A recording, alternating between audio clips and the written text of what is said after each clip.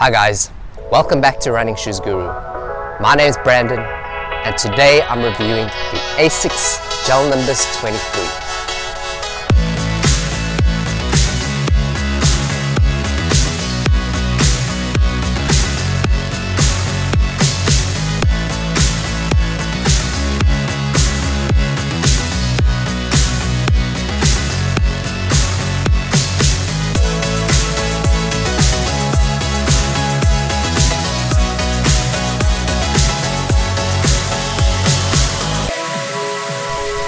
The Nimbus 23 is ASICS' plushest, most cushioned road running shoe. It's named after a cloud, but previous versions of the Nimbus felt anything but a cloud. I ran in the Nimbus 19 and to me it felt firm, lumpy and just boring. Now at first glance, the Nimbus 23 doesn't look very different to the Nimbus 22, but all the improvements they've made are under the hood. It now has a gusseted tongue a softer midsole with more heel compression and a filled in arch area underneath. It still costs $150 and it weighs 11 ounces for a men's standard size. When it comes to looks, I'm a big fan of the design of the Nimbus 23 and in my opinion it's the best looking max cushion trainer even though gel is a little bit old school. The Nimbus looks too chunky, the glycerin looks too plain and the Triumph just looks like a dad shoe.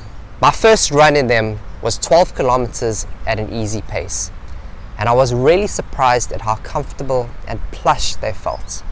The feeling which stood out the most for me was that squishy layer directly underfoot, which felt kind of like memory foam that pushes up and surrounds your feet and toes. They felt really protective, smooth, and plush on that first run. The midsole of the Nimbus 23 is a similar setup to the Nimbus 22. It's got this continuous layer of FlyteFoam at the bottom and a wedge of FlyteFoam Propel on the top. There's a hidden coin sized gel unit in the forefoot and a large visible gel unit under the heel. But the gel in the shoe doesn't really affect the ride much.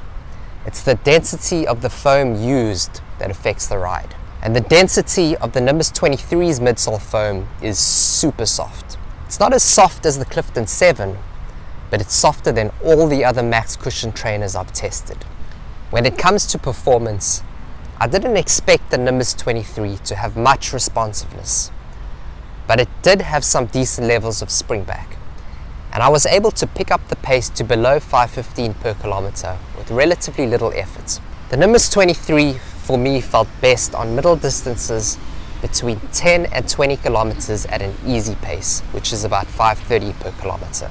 I did take them out on one long run, which was 40 kilometers, but I felt that they were too squishy because after 20 kilometers, I developed some foot fatigue. It felt like I was fighting with the shoe because of that spongy layer directly underfoot. There are two types of rubber used on the outsole. You've got Ahar, which is this blue rubber, and Ahar Plus, which is this green rubber at the back. And ASICS got the placement of this rubber completely wrong. Because here on this area, the outsole lateral heel posterior, where most runners strike, you need the durable rubber. But they've only placed Ahar here, and instead they've placed Ahar Plus on the tip of the heel.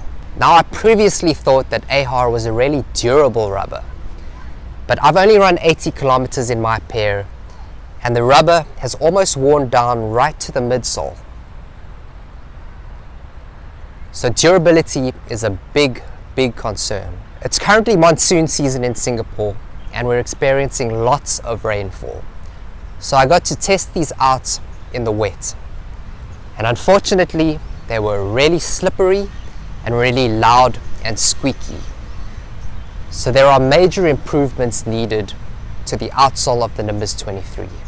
This is how you do a max cushioned trainer upper. It's the most comfortable upper I've ever worn and everything about it is perfection. From its true to size fit, to overall foot lockdown, to the padded heel counter. Now the biggest difference between the Nimbus 23 and the Nimbus 22 is that the Nimbus 23 now has a gusseted tongue, so no tongue slide occurs. And ASICS didn't make too big a deal about it, but I think it's a massive deal because it's the first ASICS running shoe to feature a gusseted tongue. And I really hope they continue doing it. So at the end of the day, the Nimbus 23 really surprised me. You know, for $150, a shoe should feel special, and the Nimbus 23 definitely does. It's in the same league as the 1080, the Triumph, and the Glycerin. But I still think the Triumph is the better overall shoe because I didn't get any foot fatigue in it on longer runs and it's a much more durable shoe.